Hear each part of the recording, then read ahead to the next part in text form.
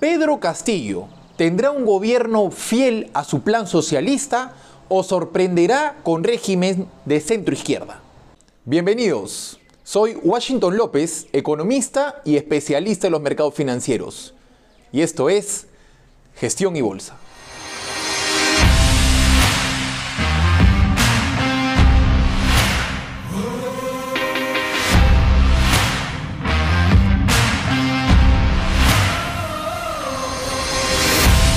Dentro de las noticias más importantes de junio tenemos Incertidumbre electoral genera récord de volatilidad en el tipo de cambio y en la bolsa de valores.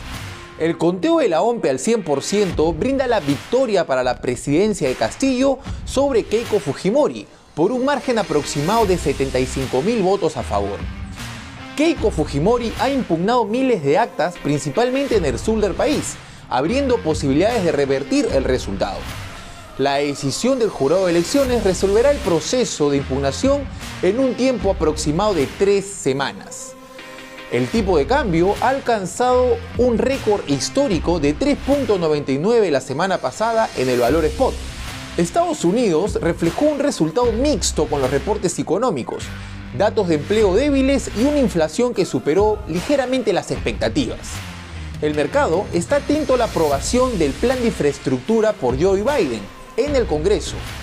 La Reserva Federal será el foco de atención la próxima semana, en donde realizará declaraciones respecto al tapering y a su próxima política monetaria.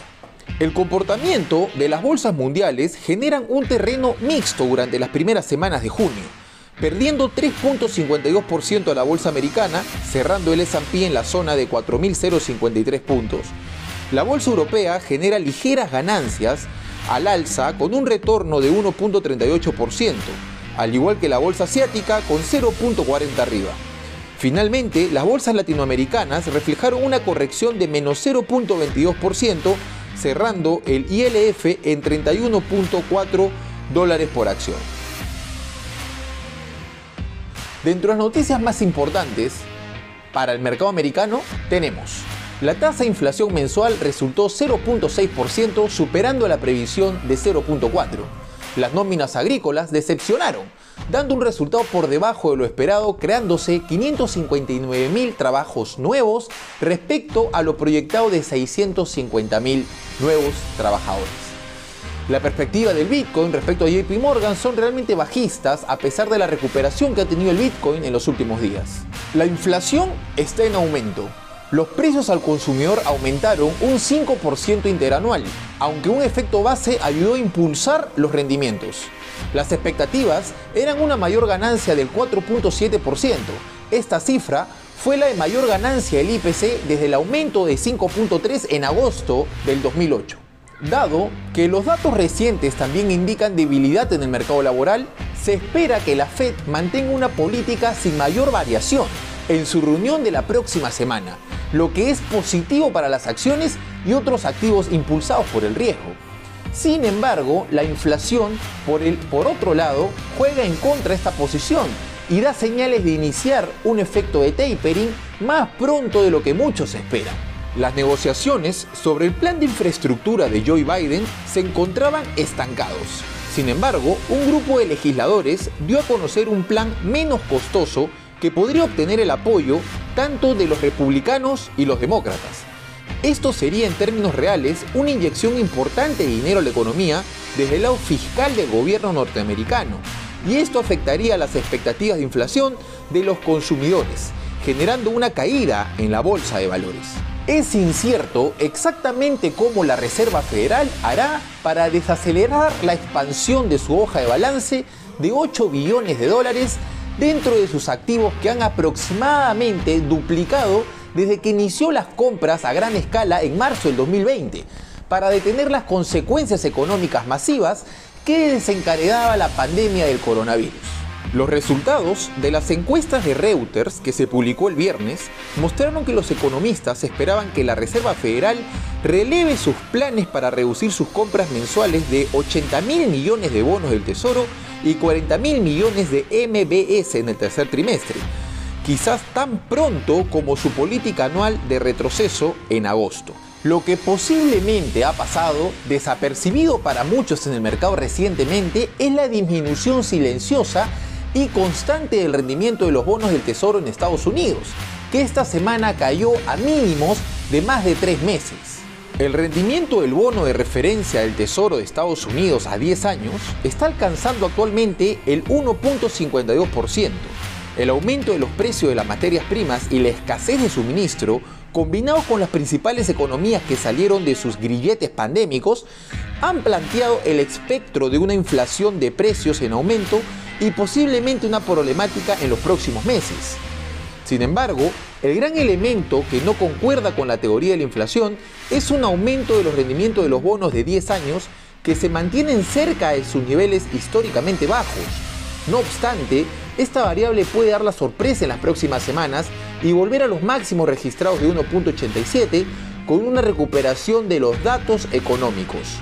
Los márgenes de deuda históricos en el mercado americano nos alertan a que estamos próximos a un proceso correctivo profundo en el mercado americano, el cual cada vez que alcanzó la zona de 75% de margen de endeudamiento, el Standard Poor's, trajo por consecuencia las principales crisis financieras en el mercado americano. En 1987 el margen de deuda registró 50% y tuvimos una corrección del 50%. En el 2000, los márgenes de deuda superaron el 80% y la bolsa cayó 46%. Y en el 2008 los márgenes alcanzaron 70% y la bolsa perdió 54%. Actualmente, los márgenes han superado el 75%. La pregunta es, ¿qué porcentaje caerá la bolsa americana? Nuestra tesis respecto al mercado americano se sigue manteniendo. El escenario de una burbuja de la bolsa de valores cada vez es más claro. Los niveles de márgenes de deuda alcanzados los máximos reflejando un sentimiento de euforia típico de una corrección significativa se encuentra próxima. Adicionalmente, los resultados de inflación siguen siendo favorables. El único argumento que le queda a la Reserva Federal para anunciar el inicio del tapering es el mercado de trabajo que aún no despega. Pero esto podría cambiar conforme se avance el programa de vacunación en los Estados Unidos y se reactive la economía americana bajo los indicadores previos. Como podemos observar, el desarrollo que ha tenido el Standard Poor's desde la crisis del coronavirus en marzo de 2020 ha sido totalmente extendida en base a una onda 5 final, la cual ha derivado al, al Standard Poor's desde los 2.400 puntos a los 4.235 puntos.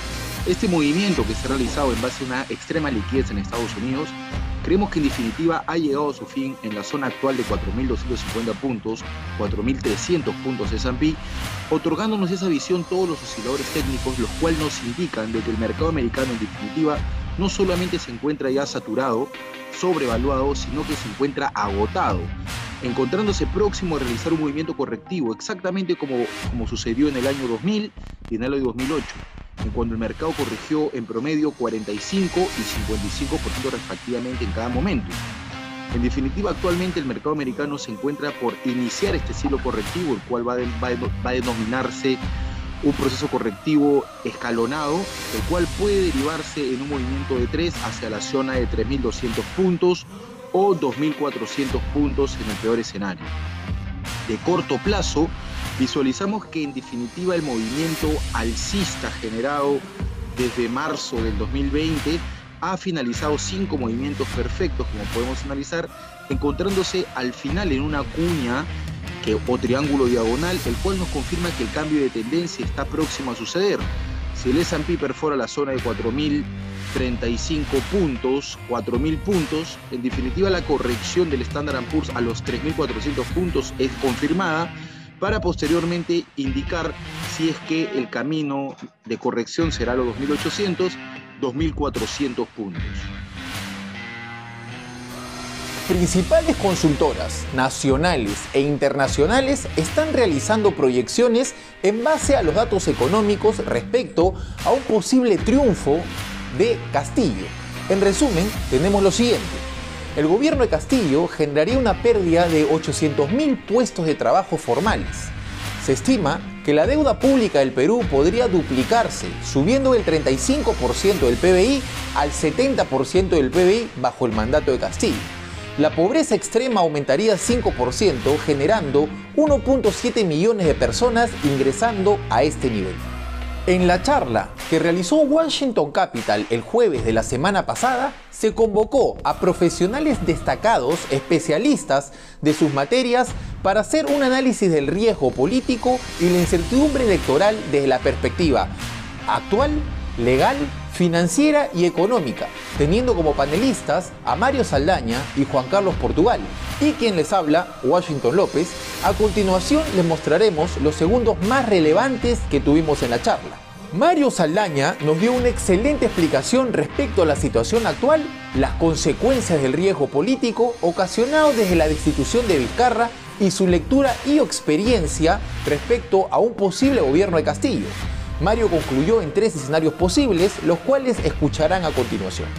La posibilidad 1, que algunos de repente consideran o algunos consideran lo que, se llama un wishful thinking, es la posibilidad de un Pedro Castillo apartado del control partidario de Perú Libre, es decir, apartado de la égida y el control partidario que tiene Vladimir Cerrón, tendríamos a un Pedro Castillo que se acerca al centro o a la centro izquierda, con un Pedro Franque de ministro de Economía que ayer ya en Canal N ha adelantado que se va a respetar la autonomía del Banco Central de Reserva, que no va a haber asamblea constituyente, que no va a haber eliminación de importaciones, que se va a buscar técnico para la SBS, que simplemente se va a eh, tratar de renegociar mejores condiciones tributarias con las empresas, que a la minería se le va a tratar de subir un, impuesto por los mejores precios del cobre y del oro. O sea, la vía humanista, digamos, la vía lulista que hemos vivido en 2011, a nivel económico y a nivel político, un Pedro Castillo que al perder la vinculación con Vladimir Cerrón se queda con 15 congresistas en el mejor de los casos, pero que va a tener que buscar el soporte y el respaldo político de un sector de acción popular, de Alianza por el Progreso, obviamente de Juntos por el Perú y alguno más para tratar de armar un gabinete mínimamente consensuado que le permita cierta gobernabilidad. Por otra parte, Juan Carlos nos resolvió preguntas legales respecto a un posible cambio de constitución, cierre del Congreso, nacionalización de las principales empresas, cierre de importaciones, impuesto a la riqueza o mineras, evaluando la viabilidad de cada una de ellas y los procesos en base al tiempo que tomaría cada una de estas variables en caso Castillo quiera aplicarlas en su gobierno. A continuación, escucharán la tesis de Juan Carlos. Veces una pregunta que formulaste a Mario es las posibilidades de una reforma pues, eh, estructural o una reforma agresiva, si se me permite el término, una reforma grosera de las inversiones, de estatizaciones, de una serie de propuestas que ciertamente constituyeron el bloque duro de Pedro Castilla, pero que en el tiempo han venido adecuándose, pero que en el tiempo, sin tener una hoja de ruta, han salido ciertos personajes vinculados a su organización política para tratar de ablandar, sintonizar o, establecer mecanismos de concertación en cuanto a estas propuestas. Yo en particular te sostengo que las propuestas son absolutamente románticas porque son jurídicamente inviables mientras se tenga una minoría congresal que no te represente la cantidad de votos calificados, que son cerca de 85, que se requieren para las grandes reformas de Finalmente, yo enfoqué ambas perspectivas y di mi posición respecto al impacto que ocurrirían en estos escenarios, tanto al tipo de cambio y a la bolsa de valores. El resumen a continuación. Y lo descuenten los gráficos.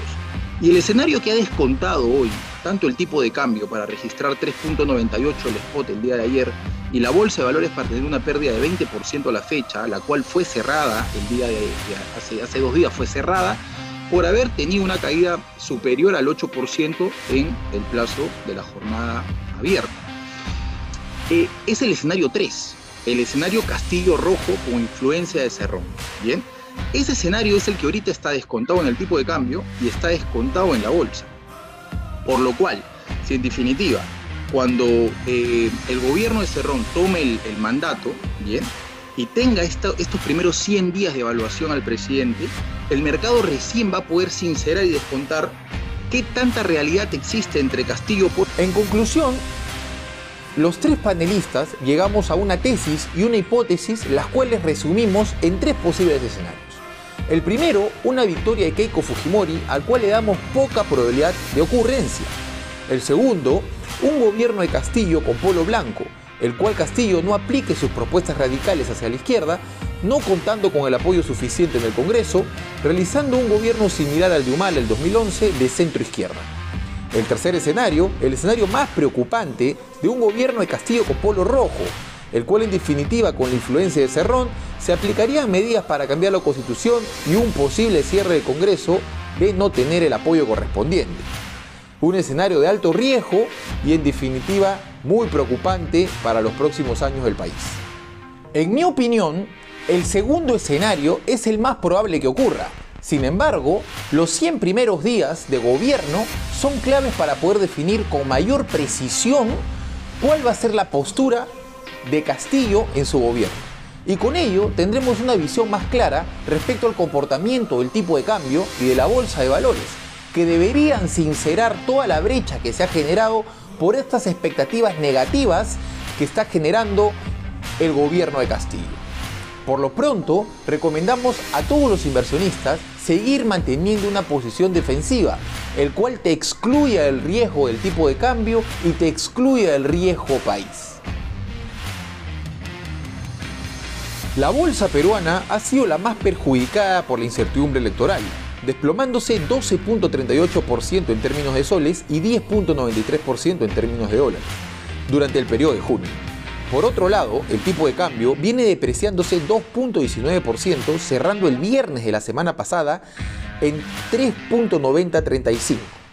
La Bolsa de Valores de Lima se encuentra en los mínimos históricos del año en la zona de 31 dólares el EPU y 19.000 puntos el Standard Poor's de la Bolsa de Valores de Lima, los cuales creemos que ambos índices van a profundizar aún más el ciclo correctivo, iniciado principalmente por el proceso electoral que traerá consigo y por consecuencia un caos social en el, en el Perú, aumentando la incertidumbre y el riesgo país.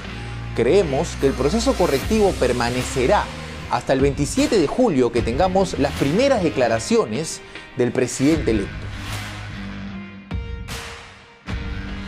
El tipo de cambio registró cotizaciones históricas de la moneda peruana, llegando a cotizar el martes de la semana pasada 3.99 soles por dólar en el mercado spot, alcanzándose en el mercado interbancario cotizaciones superiores a 4.20 la punta de la venta. La intervención del Banco Central de Reserva también ha permitido que no haya mayor incremento en el tipo de cambio. Entre el 26 de mayo y el 2 de junio dispuso 446 millones para reducir la volatilidad del tipo de cambio. El BCR refirió que los mercados financieros mostraron una alta volatilidad en un contexto de incertidumbre electoral y las acciones del BCR se orientaron a atenuar dichas volatilidades. Al 9 de junio, las operaciones de inyección del BCR totalizaron 56.670 millones de soles, de los cuales 48.870 millones de soles correspondieron a operaciones de reporte con garantía del gobierno nacional, precisó. La moneda peruana ha sufrido la máxima depreciación de su historia tras las elecciones presidenciales, tal cual como hemos estado mencionando en el video. Técnicamente detectamos de que el movimiento expandido del dólar frente al sol no ha finalizado por lo cual toda corrección de corto plazo que podamos ver en, la moneda peruana es una oportunidad de compra de dólares. Bien. El tipo de cambio se encuentra en desarrollo de una onda 5. Esta onda 5 está avanzando frente a una canalización que inició este año con toda esta volatilidad electoral de riesgo político entre la primera y segunda vuelta el objetivo número uno de 4.90 ya lo alcanzó. En definitiva, eh, nosotros siempre proyectamos de que 3.85 era el target, sin embargo hemos tenido 10 puntos por encima de nuestro target técnico. Eh, pensamos en definitiva de que la segunda proyección, que es la zona de 4.05, 4.10, va a ser alcanzada en las próximas semanas. Esta extrapolación técnica para nosotros es de, mucha confianza y mucha confirmación en base a nuestras proyecciones de conteo de ondas heliotistas, por lo cual recomendamos a todos los inversionistas salir del riesgo cambiario y estar bajo la zona conservadora de dólares y en una posición en cash o una posición defensiva. En el corto plazo, si es que el tipo de cambio perfora los máximos de la semana de 3.92, 3.99. En definitiva, se confirmaría este rally a la zona de 4.05, 4.10. Los metales realizaron un comportamiento mixto, realizando una ligera corrección el oro de 1.2%, cerrando en 1.879 dólares la onza. La plata, en cambio, se fortalece a valores de 28.056, subiendo 0.5%. Finalmente, el cobre registra una corrección de menos 2.9%, cerrando en 4.536. Los precios del cobre cayeron el viernes, encontrándose en una tendencia bajista, ya que los inversionistas estaban preocupados por las posibles medidas de las autoridades chinas para frenar un repunte en los precios de las materias primas. El oro posee una perspectiva alcista que puede reforzar con la aprobación del plan de infraestructura de Biden o el discurso de Powell argumentando que no cambiará la postura porque el mercado de trabajo sigue siendo débil. En definitiva, esto sería un alza en el oro lo más probable a la zona de 2.150 dólares. Por otro lado, la plata se verá favorecido por el impulso a los paneles solares como parte del plan ambiental de Joe Biden. Como podemos observar, el oro se encuentra en un soporte técnico importante en la zona de 1914 dólares la onza, el cual es el 61.8 de toda la corrección que realizó el oro desde los máximos alcanzados el año pasado en la zona de 2070 dólares a los mínimos de 1670. En definitiva, creemos que el oro va a hacer un ajuste menor, que es una oportunidad de compra en la zona de 1800, 1825 para salir fuertemente al alza el oro, perforar la resistencia de los 1926 y tener como objetivo la zona máxima del año pasado de 2.050 2.070 dólares la onza. En definitiva, de largo plazo, el oro se encuentra en desarrollo de una onda 5, la cual puede haber generado la primera onda de 5 en, esta resistencia. Actualmente nos vamos a encontrar una 2 de 5, un movimiento correctivo lateral y finalmente la onda 3 de 5 va a llevarnos al oro a la zona de 2.500 puntos que ha sido nuestro target desde el año pasado. Claramente el piso que hizo el oro lo, detectamos muy bien dentro de nuestra zona de acumulación técnica en base a los Fibonaccis y en definitiva es lo que proyectamos en base a la extensión de estas subondas generadas, el target de 2.500 dólares la onza. el Bitcoin ha logrado recuperarse en los últimos días, subiendo 4% a la zona de 37 mil, 38 mil dólares por Bitcoin. Sin embargo, fue un 40% más bajo que el récord que alcanzó en abril de 65 mil dólares por Bitcoin. Los estrategas de JP Morgan dijeron que su perspectiva para el Bitcoin era negativa. A la par, dieron una señal preocupante la cual se enfocaba en la participación de Bitcoin en el mercado total de criptomonedas, cayendo drásticamente en abril y en mayo, alrededor de 60 y 40%. También se están acumulando presiones regulatorias. El jueves, el principal regulador bancario mundial recomendó nuevas reglas estrictas para las instituciones financieras que acepten las transacciones de bitcoins. Como podemos observar, la corrección del Bitcoin parece haber finalizado la semana pasada en los mínimos de 31.000 puntos el, bit, el valor del Bitcoin. La suba actual a la zona de 39.000, 40.000 dólares, en definitiva, lo tomamos como fortaleza técnica, respetando los mínimos previos el Bitcoin y acumulando casi tres semanas en la zona de 35.000 dólares. Creemos que si el Bitcoin supera la zona de 41.000, 42.000 42 puntos, el piso estaría confirmándose y el Bitcoin tendría una oportunidad muy potente para ir a buscar los 60.000 dólares, 64.000 dólares exactos que alcanzó en julio de este año.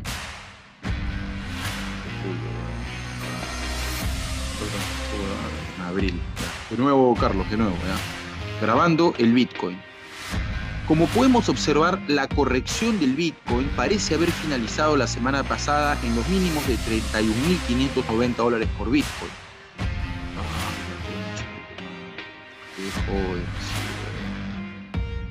Y ahora sí.